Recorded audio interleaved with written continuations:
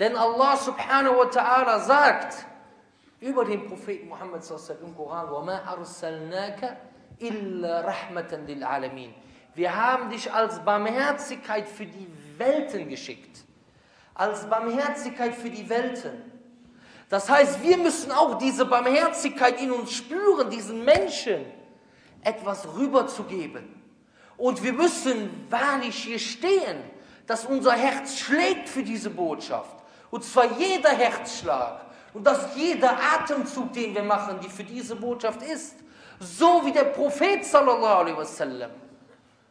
Wo zu ihm gesagt wurde, Je ayyuhal mudathir, kum fa'anvir. O du, der Eingehüllte, stehe auf und warne. Und als der Prophet sallallahu alaihi wasallam einmal aufgestanden ist, in dieser Dauer ist er nie mehr runtergekommen. In dem Sinne, dass er keine Dauer mehr gemacht hat. Sondern hat immer weiter die Leute aufgerufen dazu. Dies ist ein Zeichen des wirklich wahren Glaubens. Dass du dir Sorgen machst, dass du Barmherzigkeit in deinem Herzen hast für deine Nachbarn. Dass du nicht nur denkst, ich bin, ich bin bereit, ich bin Muslim. Auf gar keinen Fall. Glaub mir. Und du siehst einige Leute um uns herum, die versuchen, die Dauer zu stoppen. Die erzählen dir, wenn du Dauer machen willst, musst du erstmal Wissen haben. Wir sagen, das stimmt. Was für ein Wissen? Musst du ein Alim sein? Nein. Ansonsten, wer, wer will denn sonst Dauer machen, wenn nur der Alim Dauer machen kann? Du musst Wissen haben von dem, wozu du aufrufst.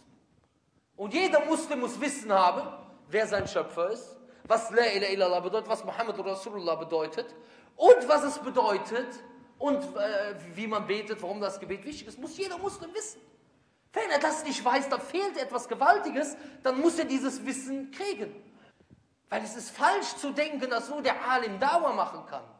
Wenn du nicht reden kannst, dann kannst du ihm ein Buch geben. Wenn du nicht reden kannst, du kannst ihn zumindest einladen in die Moschee, wo ein Unterricht stattfindet. Oder ihn auf eine Internetseite aufmerksam machen, wie zum Beispiel www.einladung zum Paradies.de. Das ist ein Arbeitskreis hier. Was ist der Sinn des Lebens? Dann sagt er, oh, uh, oh, uh, in den meisten Fällen. Da sagt er, hier, gehen wir auf die Seite, Top 10 finde ich, schau dir mal an, das ist sehr interessant. Da ist ein deutscher Muslim, der ist zum Islam konvertiert, kannst du dir mal angucken. Deutscher Muslim? Wie geht das denn?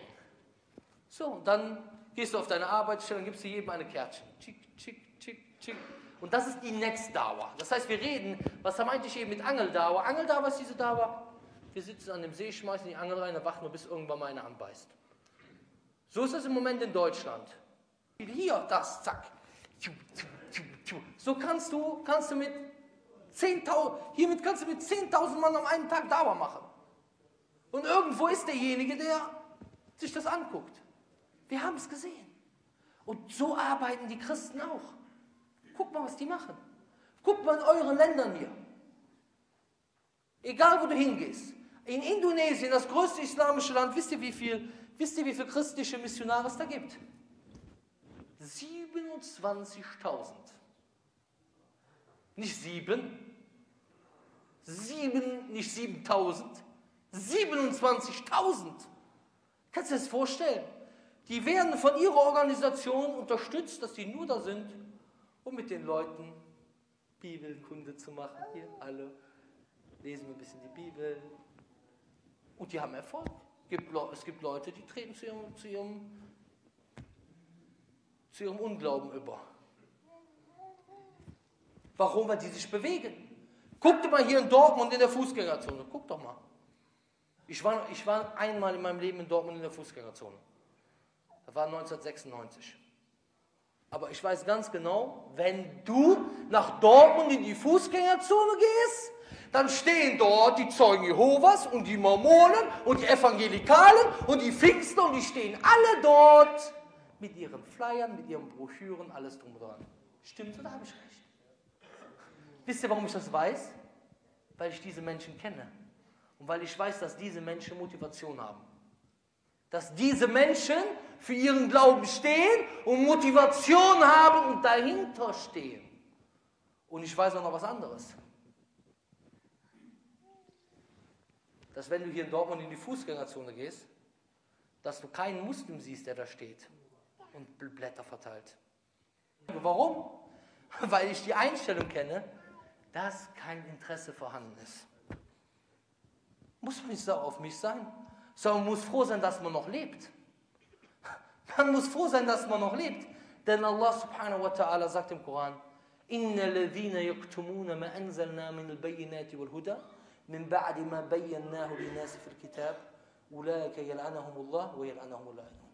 Diejenigen, die das verschweigen, was wir von der offenen Erklärung und von der Rechtsstellung herabgesandt haben, verschweigen, nur nicht auffallen, Hauptsache das Geld stimmt, der Arbeitgeber, die wird Allah verfluchen und die Fluchenden werden sie verfluchen. Und deswegen braucht man sich nicht zu wundern, wenn man die Lage von einigen Muslimen sieht. Haji so und so, beispielsweise, lebt seit 20, 30, 40 Jahren in Deutschland und hat es noch nicht einmal geschafft, mit irgendjemandem Dauer zu machen. Aber eine Sache hat er vergessen. Ich sage das nicht, um zu kritisieren, sondern um zu verbessern, Leute. Eine Sache hat er vergessen eine, Gewalt, eine der gewaltigsten Eigenschaften der Gläubigen. Eine Eigenschaft, mit der Allah subhanahu wa ta'ala die Propheten beschreibt. Eine Eigenschaft, über die Allah sagt, dass es das beste Wort ist. Eine Eigenschaft, über die Allah sagt, dass diejenigen, die erfolgreich sind. ولا تكن منكم أمة يدعون إلى الخير ويأمرون بالمعروف وينهون عن المنكر وأولئك هم المفلحون es soll von euch eine Umma entstehen, die das Gute gebieten, die zum Guten rufen, das Gute gebieten, das Schlechte verwehren. Was ist das Gute gebieten? Zum Tawhid rufen, zum einen Glauben rufen und das Schlechte verwehren. Und diejenigen, was werden die sein? Diese Leute werden die Erfolgreichen sein. Und was die anderen sein